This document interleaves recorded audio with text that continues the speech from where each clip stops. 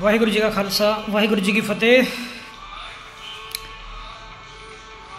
ਮੈਂ ਗੁਰੂ ਕਾ ਬੰਦਾ ਅੱਜ ਫਿਰ ਕਈ ਦਿਨ ਤੋਂ ਵੀਡੀਓ ਨਹੀਂ ਪੈ ਰਹੀ ਸੀ YouTube ਤੇ, ਕਿਉਂਕਿ ਤਬੀਅਤ ਜੀ ਖਰਾਬ ਹੋਣ ਦੇ ਕਾਰਨ ਮੈਂ ਵੀਡੀਓ ਨਹੀਂ ਬਣਾ ਸਕਿਆ।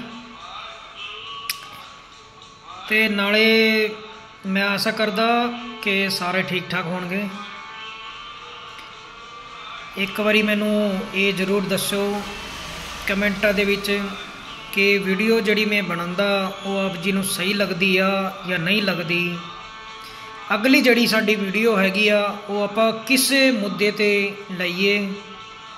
ਕਿਹੜੀ ਗੱਲਬਾਤ, ਕਿਹੜਾ ਮੁੱਦਾ ਚੁੱਕੀਏ ਵੀਡੀਓ ਦੇ ਵਿੱਚ। ਹੁਣ ਆਪਾਂ ਜਨਵਰੀ ਤੋਂ ਯਾਤਰਾ ਵੀ ਸਟਾਰਟ ਕਰਨੀ ਹੈਗੀ ਆ।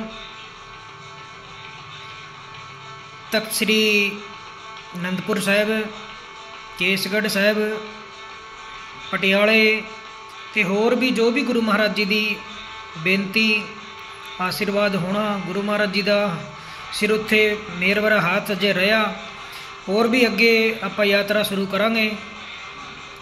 ਆਪ ਜੀ ਦੇ ਨਾਲ ਇਹ ਗੱਲਬਾਤ ਸਾਂਝੀ ਕਰਨੀ ਜ਼ਰੂਰੀ ਸੀ ਕਿ ਮੈਂ ਵੀਡੀਓ ਕਿਉਂ ਨਹੀਂ ਪਾ ਰਿਹਾ, ਕਿਉਂਕਿ ਤਬੀਅਤ ਖਰਾਬ ਹੋਣ ਦੇ ਕਰਕੇ ਵੀਡੀਓ ਨਹੀਂ ਬਣਾ ਸਕਿਆ।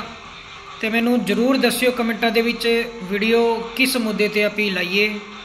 ਵਾਹਿਗੁਰੂ ਜੀ ਕਾ ਖਾਲਸਾ, ਵਾਹਿਗੁਰੂ ਜੀ ਕੀ ਫਤਿਹ।